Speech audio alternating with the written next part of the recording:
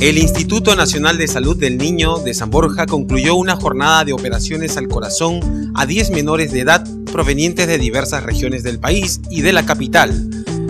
Para estas intervenciones invitó a los doctores Gerard Zimmer, director de cirugía pediátrica cardíaca del Centro Médico de la Universidad de Chicago, y Raúl Pérez Delgado, pediatra intensivista de cirugía cardiovascular, ambos distinguidos profesionales que laboran en Estados Unidos.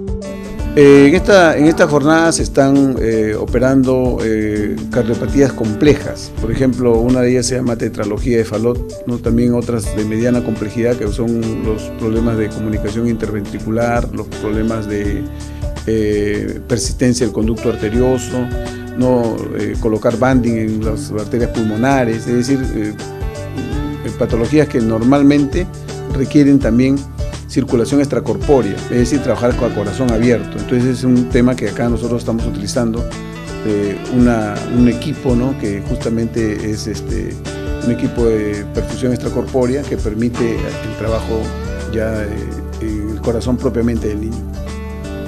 Los pacientes cuyas edades fluctúan entre 0 y 11 años provienen de las regiones Apurímac, Cajamarca, Junín, San Martín y de diversos distritos de Lima, las operaciones practicadas no representaron costo para las familias de los pacientes, dado que se encuentran afiliados al Seguro Integral de Salud. El estado de salud de los menores es estable y se vienen recuperando en las salas postoperatoria y de hospitalización. Familiares de los menores operados se mostraron satisfechos y contentos con el resultado de las cirugías. Sí, muy contenta porque ya mi hijita ya salió ya de la sala de operaciones, ahorita está en recuperación y espero que siga como está, ¿no? que siga mejorando porque gracias a Dios acá la atención es muy buena, muy buena. Como en ningún sitio que he estado, eh, puedo afirmar de que es una muy buena atención la que te dan acá. Yo le doy gracias a Dios de estar acá y que le haya atendido a mi, a mi hija como le han atendido.